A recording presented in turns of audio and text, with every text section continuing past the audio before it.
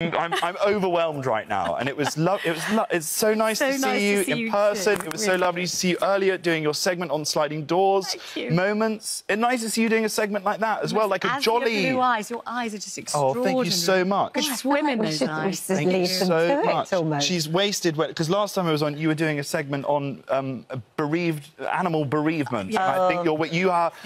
No, because we don't want Vanessa Feltz talking about dead dogs and deceased pussies.